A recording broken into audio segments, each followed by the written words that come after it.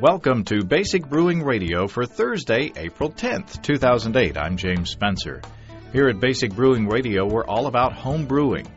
With this week, chemistry professor Brad Sturgeon joins us to explain the science of skunking. Why does our beer occasionally and tragically take on the flavor and aroma of monochromatic roadkill? And more importantly, what can we do to prevent it? Well, if you're new to home brewing and would like to get into the hobby for the first time, check out our website, basicbrewing.com, where you can find archives of our audio and video podcasts and our DVDs to walk you through basic and more advanced brewing techniques. Well, this week I've started playing with another element of technology to uh, add to my already way too connected life. My uh, my buddies Kelly Dodson and Andy Sparks have they've worn me down they've been bugging me to start using Twitter. if you don't if you don't know what Twitter is, don't feel bad. I'm I'm not sure exactly what I've gotten myself into uh, myself, um, but go to twitter.com slash basic brewing and check it out.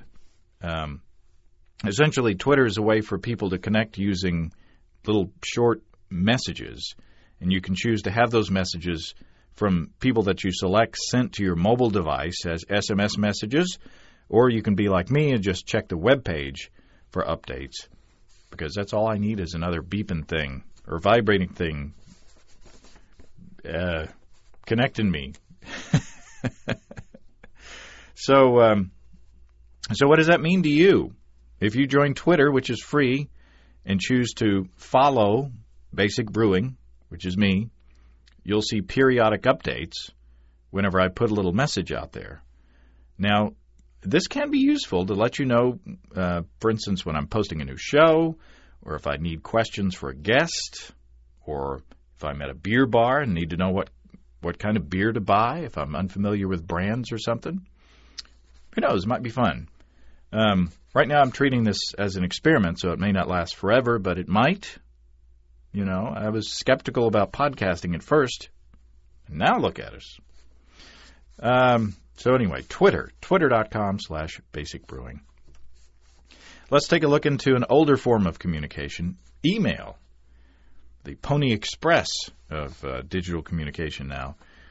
Last week I spoke to Matt Kirkegaard of Beer and Brewer magazine in Australia, and uh, I mentioned Graham Sanders' name, and Graham wrote in and said, uh, you couldn't help yourself, could you? The little stirrer that you are. you had to try and bait him on the term craft brewer. And uh, Graham says, I thought he handled it nicely and politically correctly. Yeah. yes, I, I, think that uh, Graham and I both agree that Matt has a future in politics if he ever decides to forego the uh, journalism career. And uh, also, Graham says, stop trying to pinch our hops. So you can uh, you can hear Graham. He's been doing this thing, this kind of thing, way longer than any of us in the uh, the beer podcasting thing. You can hear him on Craft Brewer Radio. Ed in Watertown, uh, South Dakota writes, I just wanted to let you know that I got back from a very long car trip to visit prospective graduate schools for the next year. I was still mucking around in the archives after brewing for nearly a year so I decided to put BBR in overdrive. On my drive from South Dakota to Syracuse, New York, with plenty of stops along the way, I listened to over one year of BBR, nearly 40 hours in total. Ed says I'm now completely caught up and will never miss podcast contests like the Brewing Belt contest again. oh my.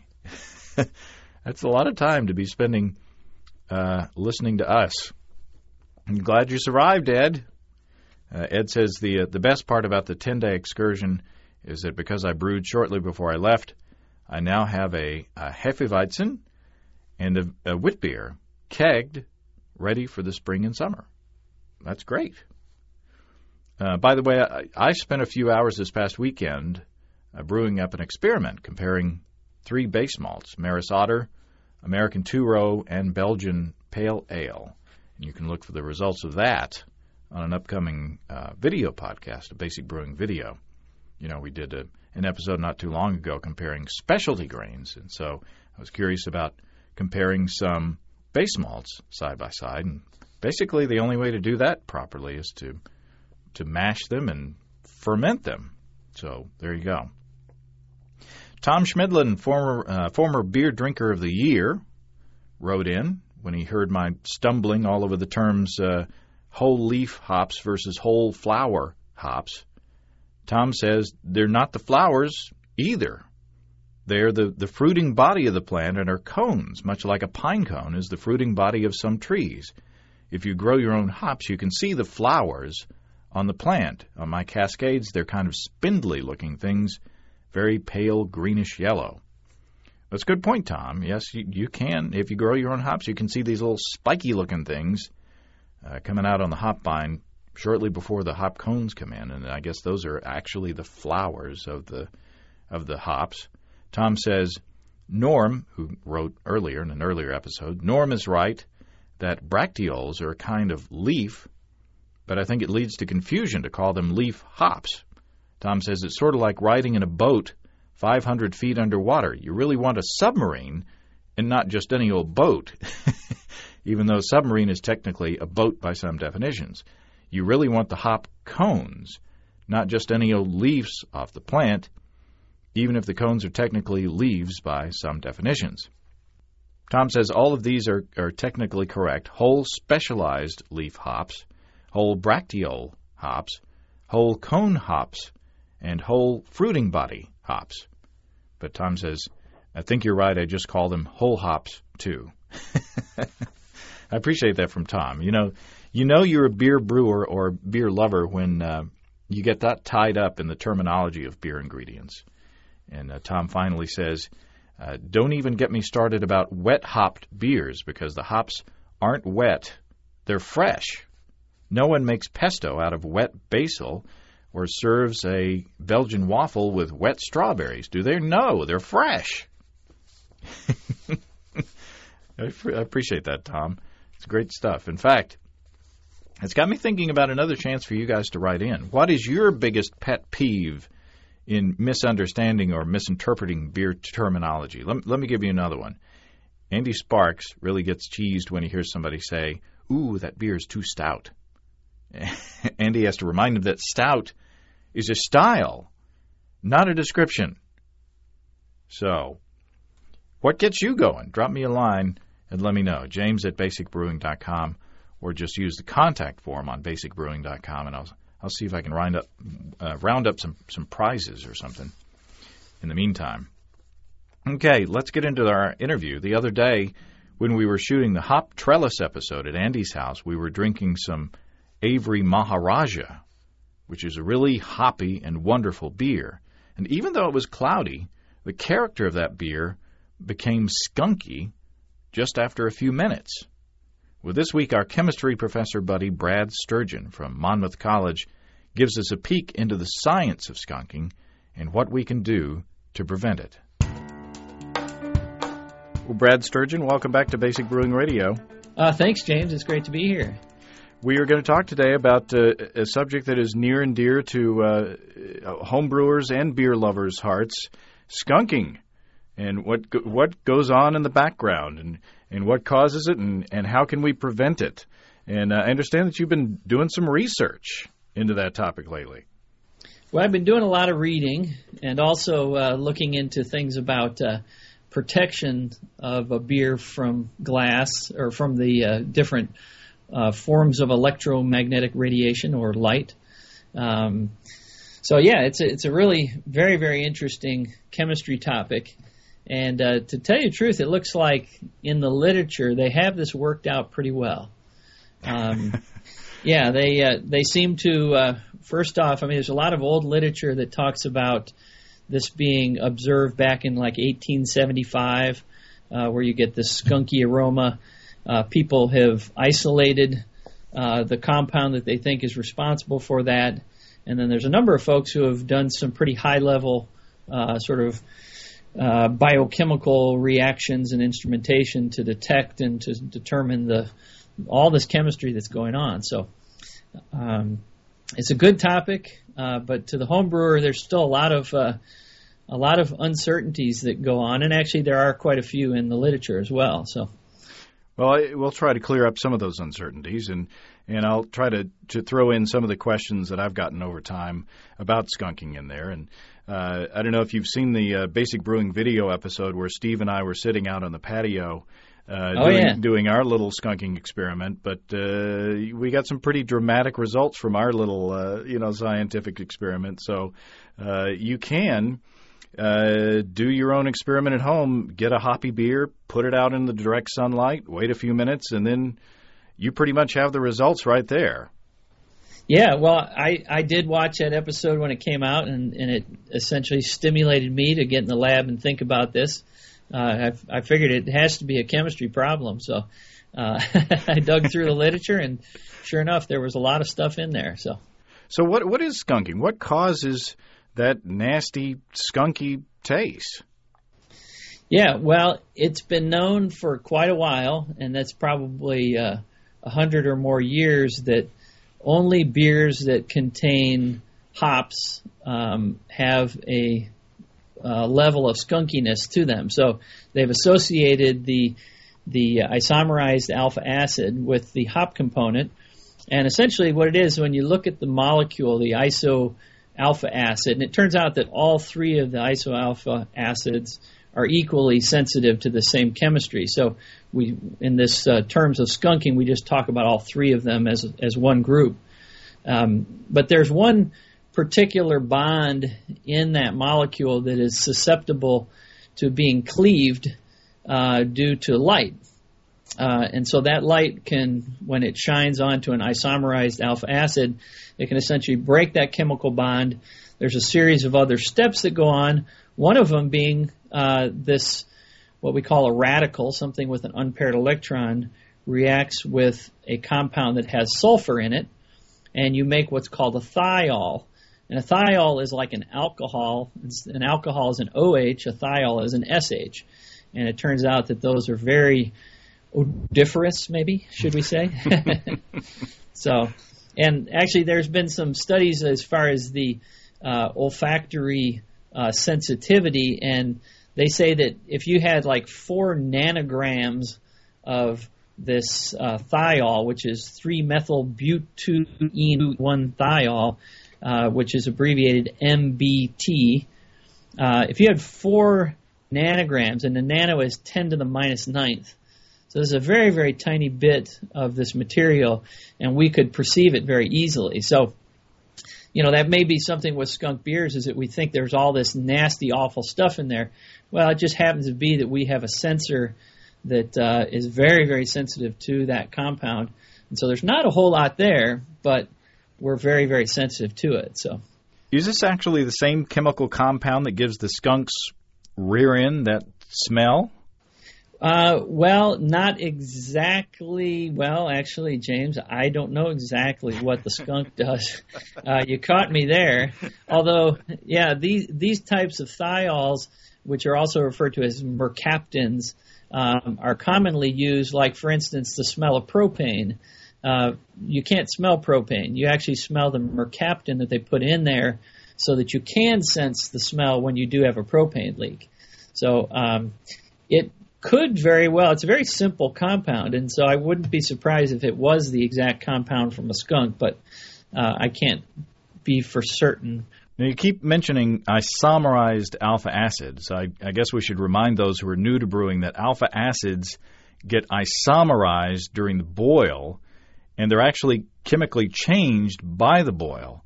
Now I've gotten the question: Why don't hops uh, skunk while they spend all that time in the sunshine on the vine. Or if you're setting your hops out in the sun on the table, on the patio beside you, say as you're brewing, why aren't they affected by sunlight? Is it because just straight alpha acids that aren't isomerized yet aren't affected? Yeah, I don't know of any particular research that is focused on just alpha acids and their ability to form this MBT compound.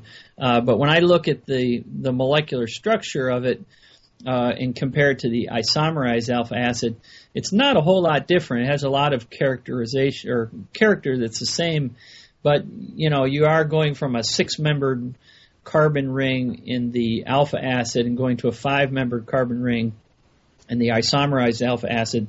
So it's very likely that there is some different energetics involved there. But um, it appears as though it might be susceptible to some of the same photochemistry uh, that would result in skunking.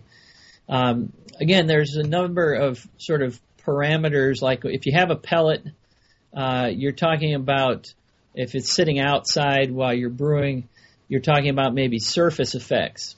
Uh, you're not really able to reach deep down inside that pellet because it's opaque.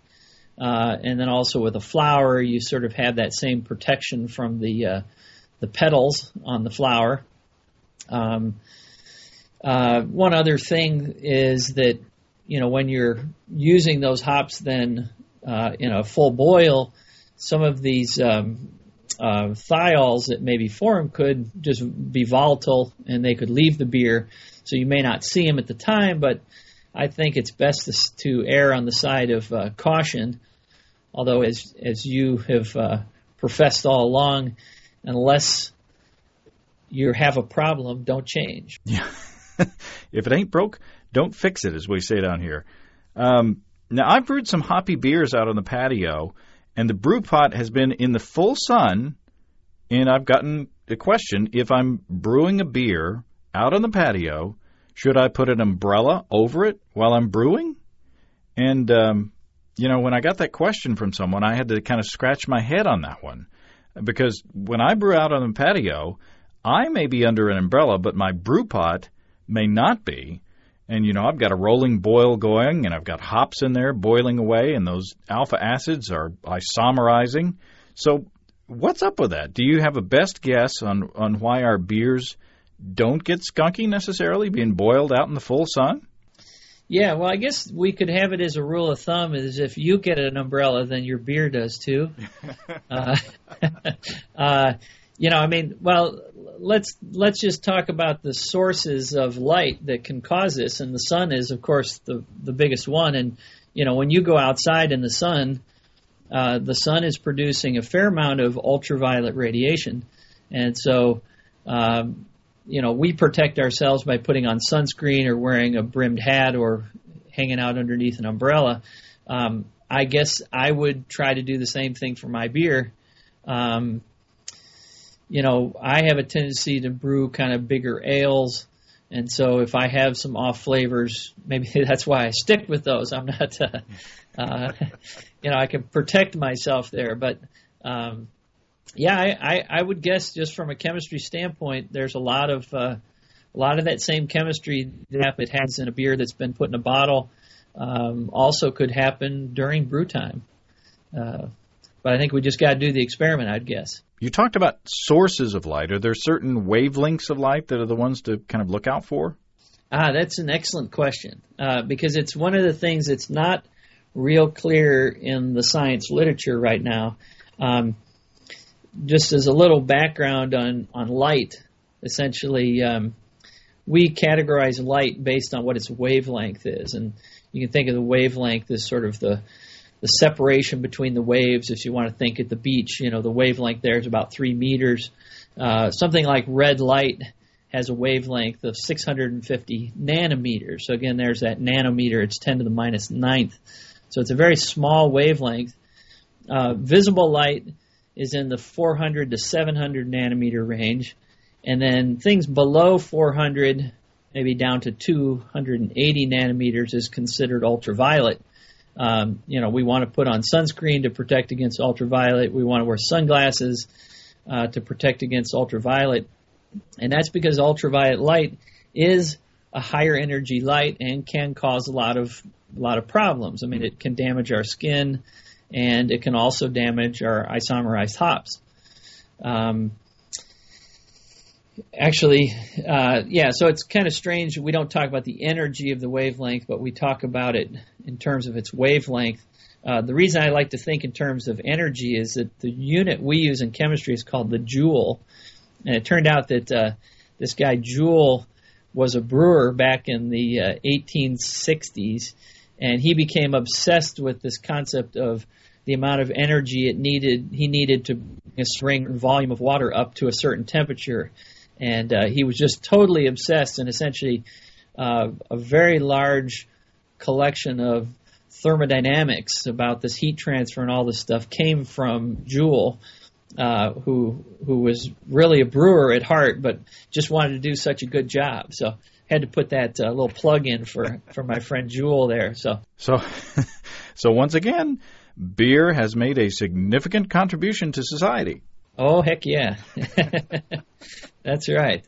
So so okay, so you you originally asked is so as far as the wavelength of light, um, the higher the energy, the more problematic it is. So things in the UV range, which are below 400 nanometers, uh, are problematic. Now, there's a real nice study done by a colleague of mine at um, University of North Carolina, Chapel Hill, uh, Malcolm Forbes, uh, has done some uh, chemistry where you, you, can actually see the isomerized alpha acid break apart. You can detect the radicals, and you can identify those radicals using a special technique called electron spin resonance. Um, he used um, a wavelength of light around 300 nanometers in order to physically break that bond in the isomerized alpha acid. Um, there are a number of other papers that are out there that says anything between sort of 350 nanometers and 500 nanometers um, can also do the same chemistry. And it's interesting when you think of something like a 500 nanometer wavelength of light, it really doesn't have enough energy to cleave the bond in that isomerized alpha acids. So what some folks have done, and they've done some real nice studies on this, where they've added in this compound called riboflavin. Hmm. And again, you can wiki riboflavin, and it's a, just a um, uh, it's a molecule that shows up in beer. Uh, it's it's it shows up. It's from a natural source, and what riboflavin can do, uh, it's called a photosensitizer, which means that it can absorb light maybe in the 500 nanometer range. And then what it can do is I can do the chemistry as if it had the energy associated with a 300 nanometer wavelength. So this is this concept of, of photosensitization that that uh, kind of comes into play. If you have a lot of riboflavin, then wavelengths other than the high energy UV can form skunking, uh, can break up your isomerized alpha acids to form the MBT, uh, the skunk aroma. Huh. Um, so, uh, yeah, it's it's it's fairly complicated how that works, and I think some of your folks have written in uh, uh, talking about the triplet state and all sorts of stuff, and that's that is essentially how riboflavin works.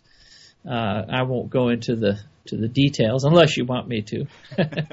so, in other words, this other compound that's naturally occurring in the beer can help wavelengths of light that aren't usually susceptible to helping the skunking problem. Uh, this compound can facilitate skunking even if those wavelengths aren't optimal for skunking isomerized alpha acids. Is, is that what I'm hearing? That's exactly right. Oh, sure. Yeah. Okay yep, riboflavin. Yeah, and actually, what's so amazing, and again, what keeps me uh, invigorated about chemistry and science in general, is that uh, riboflavins are used by many different uh, biomolecules and other bioprocesses, uh, and somehow they control this uh, in order to get their job done. In this particular case, I would say that it's kind of a, uh, a side effect that is not desirable. Hmm. Uh, you, you, might imagine also that I'm starting to look into ways of determining riboflavin concentration in my beers because I want to see how that may uh, may play out in our ability to skunk beer. So now, continuing on with the uh, the topic of light, uh, we know that sunlight is a bad one. But uh, what other sources of light? I mean, we've got incandescent light, fluorescent light, I guess sodium vapor light is another one to watch out for. Are there any good ones, and are there especially bad ones? Yeah, well, I, when you talk about sodium vapor lights, I think of you brewing late night out under the stars, right, with the the uh, street lamps going. Mm-hmm. Uh, or in a uh, gym. I, or in a gym, yeah, there you go. Yeah, uh, that's right. I don't know so much about those, except for I do know that sodium has an uh, it has emission lines or it produces uh, light that's about 588 nanometers. Uh, so it's kind of a not as strong, uh, not as highly energetic. Uh, so I'm kind of guessing at that one. Um, but the a standard um, incandescent or like a tungsten bulb uh, generally produces light in the 400 to 700 nanometers. Uh, so from a chemistry standpoint, that does not have enough energy to break the bonds in an isomerized alpha acid. Although with the addition of riboflavin and other photo uh, other potential photosensitizers, even just standard uh, your standard uh, tungsten light bulb could cause some skunking. So I got an email from someone who said, "I'm terrified because I left the basement light on all night." And my carboy is down there in the basement. Should I be worried? And my answer to him was, well, from what from what I've read, it's if it's just an incandescent light bulb, you shouldn't have to worry. But if it's a fluorescent light bulb, uh, is that more of a source of worry? Uh, yes, it is. Um, and um, one of the things I did in preparation for this this talk here is I did go into the lab and measured some of the uh, what we call the emission spectra or the wavelengths of light that come from different light sources. And um, I think uh, I will send you something very shortly, and you can get it up on on your web page. But one of the things about fluorescent lights that is a problem is that you have to go back to understand how a fluorescent light works. Um, you know, in a standard tungsten light bulb, you put electrons through the tungsten wire, and as it gets really hot, it glows a bright white, or kind of first starts off kind of a yellowish orange and then kind of bright white. Well, in a fluorescent light bulb, you have uh, a gas inside of that tube, but then you also have mercury vapor. And so, in the same way that tungsten gets excited and emits light in an incandescent bulb, uh, a fluorescent light the mercury gets excited and emits uh, e- mercury emission lines. And when you look at those uh, with a spectrometer, again, that will be on your webpage here, you see that there are some rather intense um, wavelengths of light that are being emitted. Um, the way the fluorescent bulb works also is that those emission lines from mercury actually hit the what they call the phosphor, the white powdery stuff on the inside of the of the fluorescent tube, and that kind of broadens the wavelength and kind of makes it a little smoother, a little bit softer light. Um, but you know, if you're a beer sitting on a shelf inside of a cabinet in a refrigerator uh, in the store, and you have these fluorescent lights on it, um, you know, there can be a pretty intense uh, wavelength of light in the less than 500 nanometers, mm. which, uh, you know, with riboflavin present and all, uh, you can get quite a bit of uh, photochemistry happening at that point. So fluorescent lights, I think, are a problem. Um, and again, it's uh, when you look at this spectrum that's being generated, there's a very intense wavelength that's about 430 nanometers, and uh, that those wavelengths are are flying at your beer bottle. So in a way, this movement to replace your incandescent bulbs with compact fluorescent bulbs may be better for the environment, but not so good for the beer. I'm afraid, uh, yeah, that's its downfall. Uh, yes. So let, let's talk about ways that we can protect our beer. First of all, what I do is I, I put my beer in my basement and I think I still have an incandescent bulb down there. I'm I'm going to have to check after talking with you. But in addition to that, what I do is is take a paper grocery sack and I cut a little hole in the bottom of it, uh, just big enough for the carboy's neck to fit through, and it and it fits nicely over a five gallon uh, glass carboy. Um, you know, it's too small for a, a, a six and a half gallon carboy, but it's big. It's good for a five gallon carboy. So the first strategy, I guess, is is to protect your beer from the light. Um, you can just cover it up. But uh, once it gets into the bottle, what you choose for the color of your bottle can be influential in how your beer fares as it's being stored, right? Uh, yeah, and that was part of the data that I collected in preparation for this program here. And um, as uh, you might expect, uh, I, I, I collected a series of data using the sun and having it filtered with different beer bottles, um, and then also uh, tungsten light and a fluorescent light. I have all that set of data that will be posted on your webpage. And you actually took beer bottles and put this little um, sensor inside them and carried them to uh, different lighting conditions? That's right, except for I, I just smashed the bottle up and uh, and took a little shard and placed it over the input, the uh, where the light goes in uh, for this uh, spectrometer that can separate out these wavelengths of light, so we can get an idea of, of what's all in that that uh, light emitting from a particular source. Um, uh, so I, so there's essentially uh, four different bottles that I tested. Um, a clear bottle um, pretty much did nothing as far as filtering any light from any of the sources. So even that goes for the UV light that maybe it's uh, that's generated from the sun. Uh, a clear glass bottle will not block any of those UV rays. Now, after our video show where we did skunking out on the patio, I got a listener who said, "I um, I hate to correct you, but uh, all of your bottles were clear, but uh, you're talking about colorless glass instead of clear glass." Okay, colorless. That's right. So, like a Newcastle uh, is the bottle that I broke up and used for that one. So, so I didn't see any attenuation of wavelengths from any of the sources that I looked at using colorless glass. Uh, now, the other um, more commonly seen is the green bottle.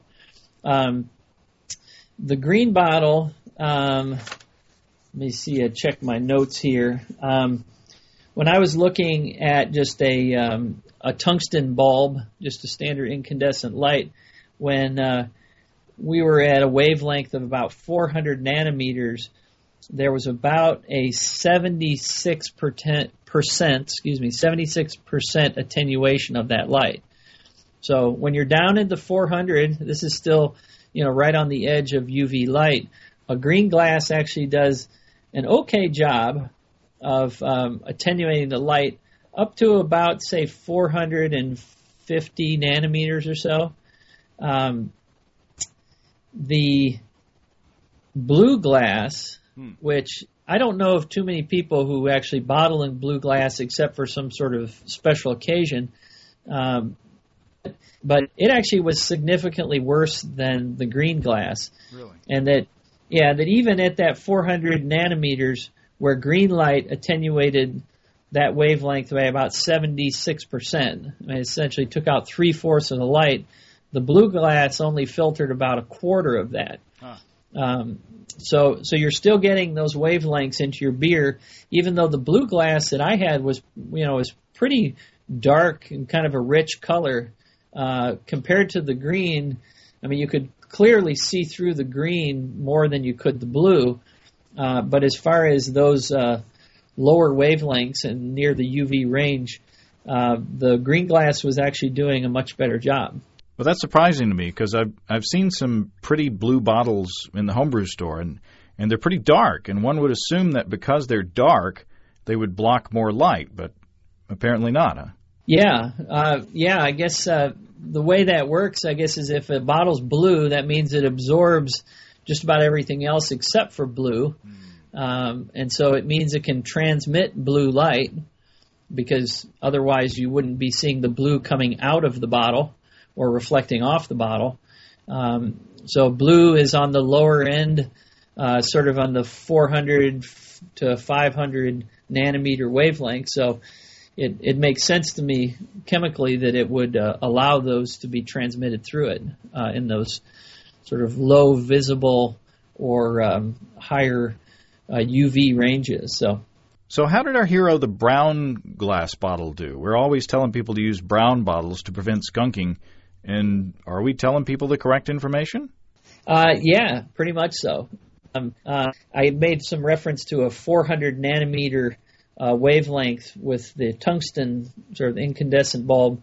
Um, at the 400 nanometers, the brown glass absorbs everything. There is no no emission uh, through brown glass.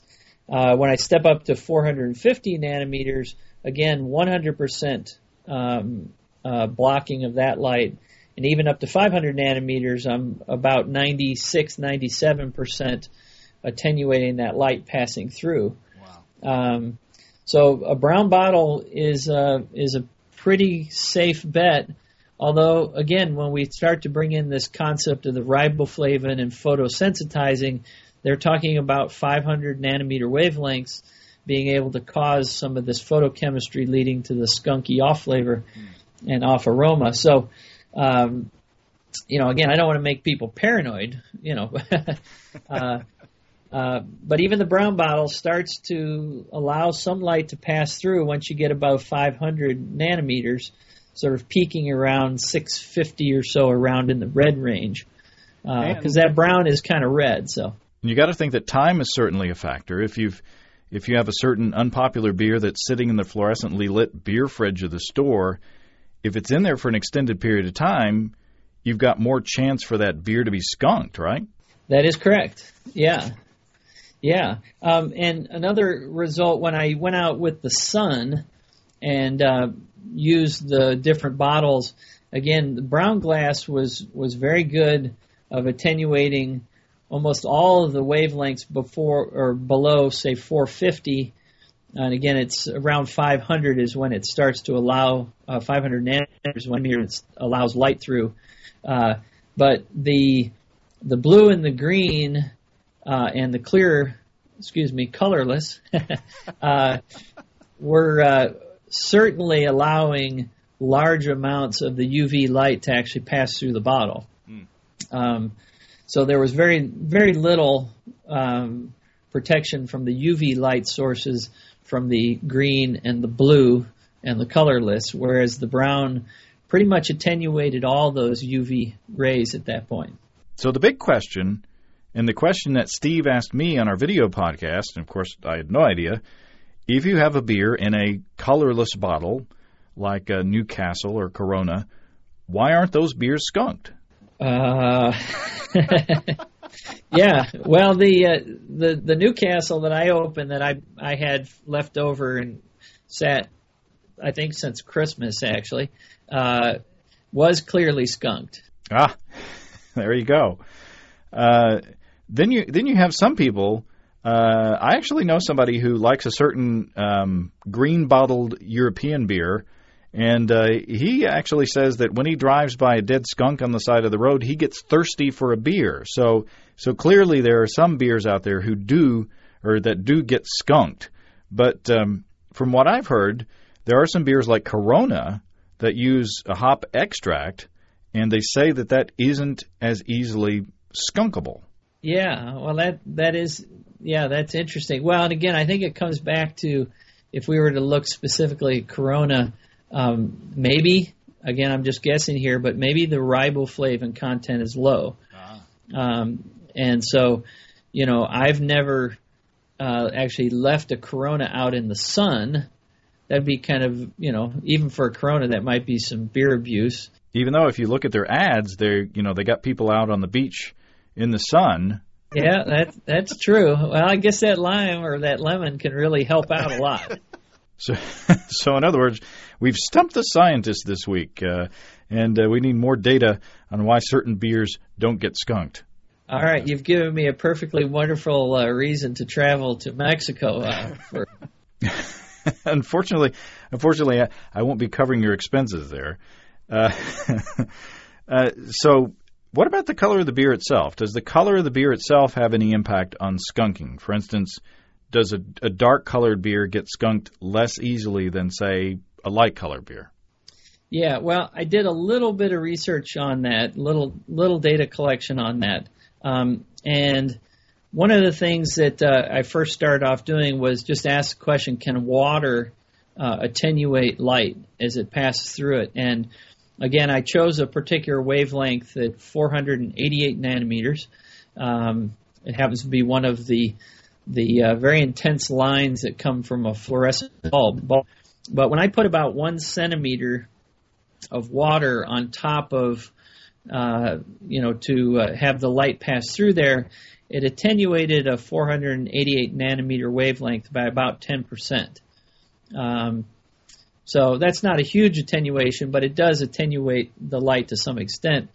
Um, if I took a, a very light uh, lager, probably an SRM of five or so, and uh, put in one centimeter, and it attenuated the light by about 50%. Huh. Uh, so it was a there was quite a bit of attenuation um, due to beer. Again, I followed up with that by putting in two centimeters of beer, and it was maybe attenuated 60%, not a huge amount more uh, with a larger volume, um, as you might expect. Um, I did not get around to, it and I apologize, James, uh, but to running this Newcastle. It's still sitting over in the lab right now, skunking up the whole place. Uh, um, but uh, I would guess that it also would attenuate the light.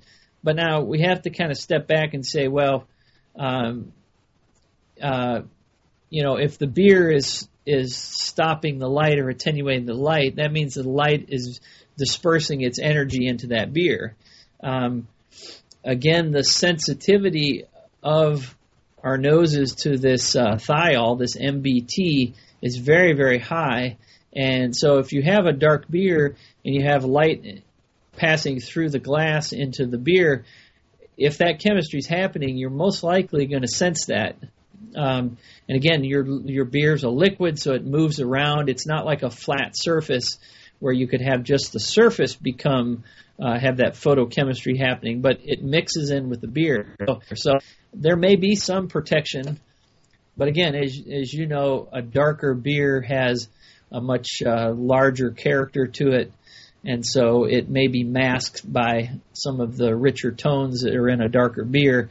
But I would say it could probably be skunked just as easily as a light lager would. What's interesting that on another day, out on the patio on a sunny day, I, I left a little bit of a, a Hefeweizen on the patio in the sun while we were shooting. And you may remember this is the one that you certified on our IBU podcast. You certified it was only seven IBUs, so it was pretty lightly hopped. But now, unfortunately, they were at different times, so I have to rely on memory. But it seemed to me that I got more of a skunked perception from that lightly hopped beer than the considerably more hoppy um, Sierra Nevada Pale Ale? Could it be that the the more hoppiness, the more hops that were going on, kind of masked the skunkiness? Yeah, well, in in the IBU measurement, um, you know, with uh, uh, that measurement, say seven, that's seven um, milligrams per liter. So that's milligrams of an isomerized alpha acid. Uh, when you're talking about the sensitivity of our noses to this MBT, you're talking, at least the published value, is somewhere around four nanograms. And a nanogram, that's uh, essentially a million times less wow. than a milligram. So you have seven milligrams of isomerized alpha acid in there that could be susceptible uh, to this photochemistry, leading to that skunky flavor. Again, like you say, there is a masking that can occur, but again, when we smell that skunk, it's a pretty low quantity. Mm. Uh, we just happen to have that big sensitivity to it, and again, it's it's the main reason why propane is is uh, has this as an additive or something similar to it, this mercaptan or thiol uh, added to it, so that we'll know uh, real real soon whenever there's some sort of small leak right. that uh, that this is a problem. So, is there anything else that we're missing that we need to talk about in your research? Yeah, I mean it's a it's a really rich topic of science, and uh, I look forward to thinking a little bit more about it. And again, I'll get you uh, some of this data so that your listeners can actually download it and look look at that data and see if it makes sense to them. Um, but I think the the take home is uh, clear glass is not desirable, uh, or excuse me, colorless. There I go again. Um, and uh, the the sort of surprising for me was that blue glass is the second least desirable, mm-hmm. um, and then green uh, would be the uh, not as bad as blue or colorless. Uh, but again, it's easy enough to come up with brown bottles nowadays. Mm-hmm. Um, so, oh, I do, I do have to mention one other thing is that uh, one of my students, uh, Matt Farron, had actually done a study similar to this, but he was looking at different brown bottles, and there is some variation between the brown bottles. Uh, for instance, he had one that he had brought back from China, and it was a really thick brown bottle. And of course, the thicker the bottle, uh, you know, the more uh, protection that you have, the more attenuation of those wavelengths. So, not all brown bottles are actually made the same. Um, although generally they pretty much are, are your safest bet. So look for the look for the Belgian bottles that are nice and thick uh, to hold in that uh, the extra carbonation pressure. That's right. Yeah, yeah. Or consider cans. Yeah, we didn't talk about cans, but uh, you'd assume they'd be the best of all. Uh, yes. Uh, yeah, certainly aren't going to have any light inside of a can. And again, when you pop the top of a, uh, of a beer can, uh, the amount of light that can get through that little hole is uh, is minimal. So, uh, you know, when you're on the porch in the bright sun, uh, wearing your suntan lotion and your brimmed hat, you ought to get your your beer or something like that too. So, well, excellent. Well, Brad, this has been fun and and uh, quite informative. Uh, we've proven that we've proven that skunking is a real issue, and uh, we've proven that there is something that you can do about it. That's right. Thank you, sir. Yes, well, thank you, James. It's always a pleasure. Well, thanks again to Brad Sturgeon. I'll post a link to Brad's paper, which is really well put together, by the way, with graphs that clearly show you what's going on with the process.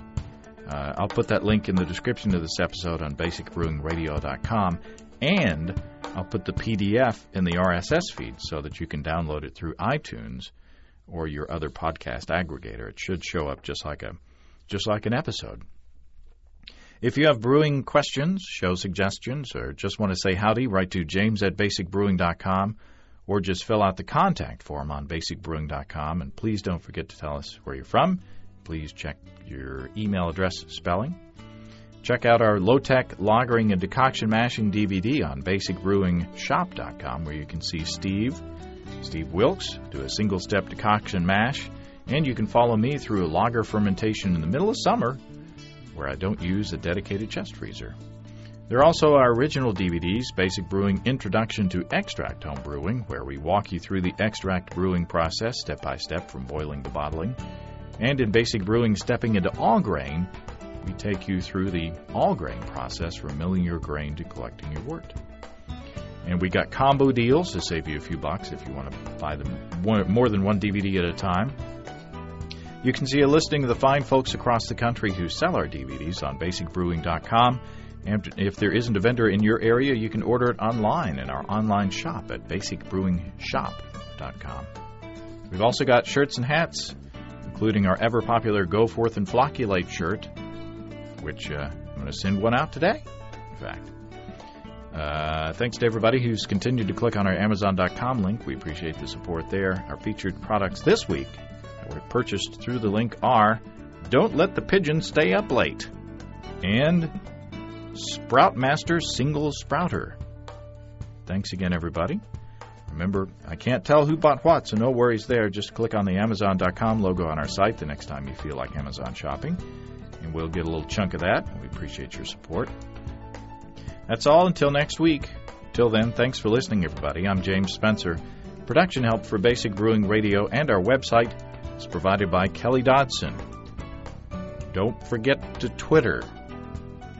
Basic Brewing. Basic Brewing Radio is a production of Active Voicing. We'll talk to you next time, everybody. So long.